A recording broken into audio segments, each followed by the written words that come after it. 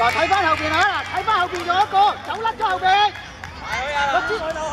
viện.